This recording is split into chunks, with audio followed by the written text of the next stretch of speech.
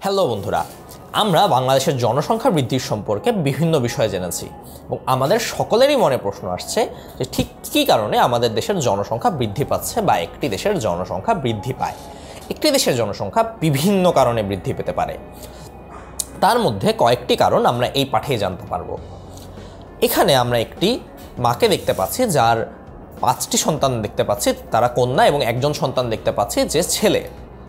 এবং সে ছেলে সন্তান আশা লাভের আশায় ছয়জন সন্তান নিয়েছেন। আরেকটি ছবিতে আমরা দেখতে পাচ্ছি, একজন পুরুষের বহু বিবাহ হয়েছে, অর্থাৎ তার অনেকগুলো স্ত্রী রয়েছে এবং তার অনেক সন্তানাদি রয়েছে।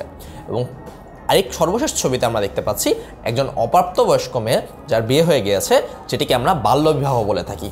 এই প্রত্যেকটি আমাদের দেশের জনসংখ্যা বৃদ্ধির কারণ এবং প্রত্যেকটি কারণ অনেক গুরুত্বপূর্ণভাবে আমাদের দেশের জনসংখ্যা বৃদ্ধিকে প্রভাবিত করছে। একটি দেশের জনসংখ্যা বৃদ্ধির নানা ধরনের কারণ থাকতে পারে। এখন আসো আমরা দেখে নেই ঠিক কী কী প্রধান প্রধান কারণ রয়েছে এবং আমরা পরবর্তীতে সেগুলো সম্পর্কে বিস্তারিতভাবে জানব। প্রথমত, বাংলাদেশের জনসংখ্যা নানা কারণে বৃদ্ধি পাচ্ছে। তবে জনসংখ্যা বৃদ্ধির প্রধান চারটি কারণ হচ্ছে সামাজিক, অর্থনৈতিক, স্বাস্থ্য এবং ধর্মীয়। এবং এই চারটি কারণ সম্মিলিতভাবে বাংলাদেশের জনসংখ্যা বৃদ্ধিকে প্রভাবিত করছে। একটু আগের ছবিতে তোমরা যেই ছবিগুলো দেখতে পাচ্ছিলে বাল্যবিবাহ বহু বিবাহ এবং পুত্র সন্তান লাভের আশা, সেই তিনটি আমাদের দেশের জনসংখ্যা বৃদ্ধির সামাজিক কারণ। এবং আমরা এই পাঠে সামাজিক কারণ সম্পর্কে জানব। প্রথমেই সামাজিক কারণ। বাংলাদেশে জনসংখ্যা দ্রুত বৃদ্ধি পাওয়ার পেছনে বিভিন্ন সামাজিক কারণ রয়েছে। যেমন শিক্ষার অভাব বাল্যবিবাহ বহুবিবাহ কুসংস্কার ছেলে সন্তান লাভের আশা ইত্যাদি। বাংলাদেশের জনসংখ্যার প্রায় অর্ধেক নারী, আর তাদের অধিকাংশ আয়মূলক কাজে জড়িত নন। ফলে ছেলেমেয়ে লালন পালনেই তাদের বেশি সময় ব্যয় করতে হয়। অনেক মা বাবা মনে করেন, অধিক সন্তান থাকলে বৃদ্ধ বয়সে তাদের দেখাশোনা করতে পারবেন এবং তাই তারা বেশি সন্তান নেন। এখানে বাংলাদেশের জনসংখ্যা বৃদ্ধির সামাজিক কারণগুলো বলার চেষ্টা করা হয়েছে। প্রথমত আমাদের দেশের অনেকের মধ্যেই শিক্ষার অভাব রয়েছে এবং অনেক মা, অনেক পিতার মধ্যে শিক্ষার অভাব রয়েছে, যেই কারণটিতে তারা অধিক সন্তান লাভ নেন এবং তাদের জনসংখ্যা বৃদ্ধির যেই কৌশলগুলো সম্পর্কে তোমরা একটু আগে জানলে, সেগুলো সম্পর্কে কোনো ধরনের জ্ঞান না থাকার কারণে এবং জনসংখ্যা যদি হ্রাস পায় এবং তাদের পরিবার যদি ছোট থাকে, তাহলে তাদের কি কি সুবিধা হতে পারে সেগুলো সম্পর্কে তারা শিক্ষিত না হওয়ার কারণে তারা অনেক সন্তান নিয়ে থাকেন এবং তার একজন পরিবার ব্যবস্থাপনা এবং এই যেই বিষয়গুলো আমরা এখন জানছি, সেই বিষয়গুলো সম্পর্কে তাদের জ্ঞান না থাকার কারণে শিক্ষার অভাবে দেশের জনসংখ্যা বৃদ্ধি পেতে পারে। এরপরে রয়েছে বাল্যবিবাহ। একটি অপ্রাপ্তবয়স্ক মেয়ে যখন বিয়ে করে তখন তার অনেক কিছু সম্পর্কে জ্ঞান থাকে না। অধিক সন্তানাদি লাভ করলে কী কুফল হতে পারে এবং দেশের জনসংখ্যা বৃদ্ধি পেলে কী কুফল হতে পারে, কীভাবে একটি পরিবার লালন পালন করতে হয় এবং কীভাবে সন্তান বড় করতে হয়, এগুলো অনেক বিষয় সম্পর্কে একজন অপ্রাপ্তবয়স্ক মেয়ের ধারণা থাকে না। কিন্তু তার বয়স হওয়ার সাথে সাথে সে অনেক সন্তান গ্রহণ করতে থাকে, যেই কারণটিতে বাল্যবিবাহের ফলে দেশের জনসংখ্যা বৃদ্ধি পেতে পারে।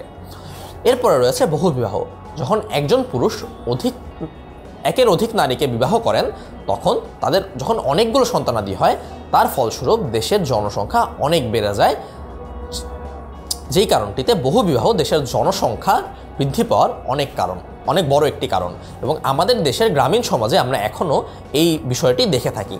এরপরে রয়েছে কুসংস্কার। যেরকম একটি কুসংস্কারের কথা নিচেই লেখা রয়েছে।